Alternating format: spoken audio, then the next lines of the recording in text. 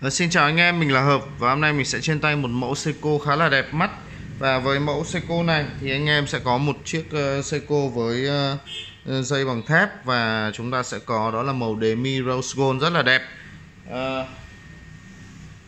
Đầu tiên khi mình muốn nói đến đó là chiếc Seiko này thì nó sẽ thuộc uh, cái series là SSA mới và em nó sẽ có design khá là giống chiếc SSA 306 G1 vì à, mã của chiếc này đó là SSA 308G1 và mẫu này của chúng ta thì chỉ có màu khác với mẫu kia thôi còn tất cả của chúng ta thì à, sẽ giống hệt.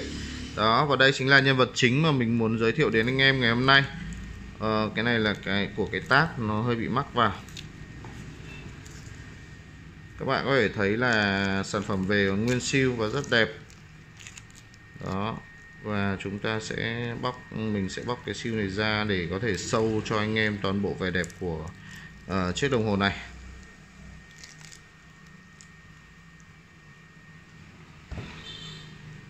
Uh, các bạn có thể thấy ở đây là chúng ta sẽ có một chiếc ờ, đồng hồ với thân bằng thép không gì.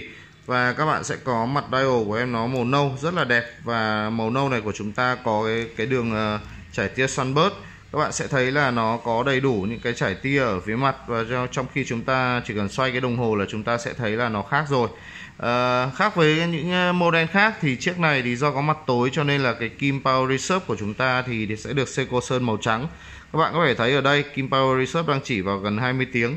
Và khi chúng ta lên cót tay thì các bạn sẽ thấy là cái kim power reserve, uh, power reserve này nó sẽ di chuyển lên. Đó cho đến khoảng 42 tiếng là độ tích cót của chiếc này à, mặt dial màu nâu kết hợp với bộ kim cọc số được mạ rose gold giống cái phần à, niềng benzen và phần thân. Thì mình nghĩ là thực sự đây là một sự kết hợp mà kinh điển rồi. Rất là dễ thấy ở trên nhiều dòng đồng hồ kể cả thụy sĩ lẫn nhật. Ở phía ngoài thì các bạn sẽ có cái niềng benzen và niềng benzen này được mạ rose gold luôn. Cùng với đó là cái núm của chúng ta có logo Seiko chữ S và núm này cũng được mạ rose gold. Bộ dây của chúng ta là bộ dây đề mi khá là đẹp ở trên dòng này và với những cái dòng mà, mà sử dụng máy 4R thì các bạn sẽ thấy là dòng này sẽ có cái độ hoàn thiện dây rất là đẹp.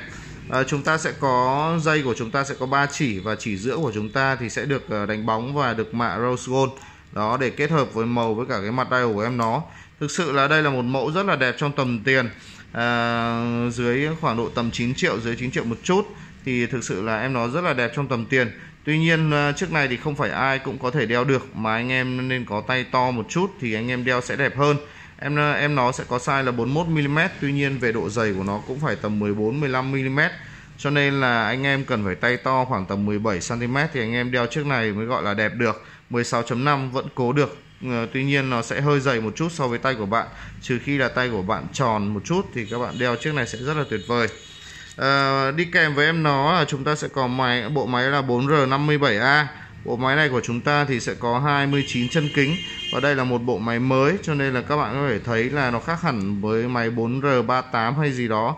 Bộ máy này của chúng ta có tận 29 chân kính và chúng ta sẽ có 21.600 tần số dao động cùng với đó là 42 giờ tích cót. Một thông số rất là khủng với một cái đồng hồ tầm trung à, chiếc này thì sẽ có độ chống nước là 13 cho nên là anh em có thể là sử dụng uh, chiếc đồng hồ này thoải mái hơn rất là nhiều. Chúng ta có thể ngâm nước nhẹ do đó chúng ta có thể đi bơi nhẹ được. Đó. Và kính của em nó hoàn toàn là kính sapphire cho nên là anh em có thể hoàn toàn yên tâm về cái độ chống xước của của, của chiếc này. Mình sẽ quay cận cảnh hơn cái mặt dial để mọi người có thể ngắm nhìn được em nó tốt hơn. Đó các bạn sẽ thấy là cái ánh ờ, sunburst ở trên cái mặt nâu này được làm rất là tuyệt và Seiko đã làm à, chiếc này với một cái mặt dial khá là đẹp à, rất là thu hút cho nên là anh em có thể hoàn toàn yên tâm về cái độ finish của em nó. À, chiếc này sử dụng cái khóa đơn một bên cho nên là các bạn sẽ thấy là nhiều khi là chúng ta gập vào nó chúng ta sẽ cảm thấy hơi bất tiện một chút. Và nếu mà mẫu cao cấp như này mà nó làm khóa gập đôi thì mình nghĩ là nó sẽ hợp lý hơn rất là nhiều. Đó. À, trên đây là cái review nhanh về chiếc ờ, Seiko Presec SSA 308 G1 à, nếu như anh em có nhu cầu uh, mua chiếc này thì anh em có thể contact ICS theo thông tin ở bên dưới video. Cảm ơn anh em rất nhiều và xin hẹn gặp lại anh em trong những video tiếp theo của ICS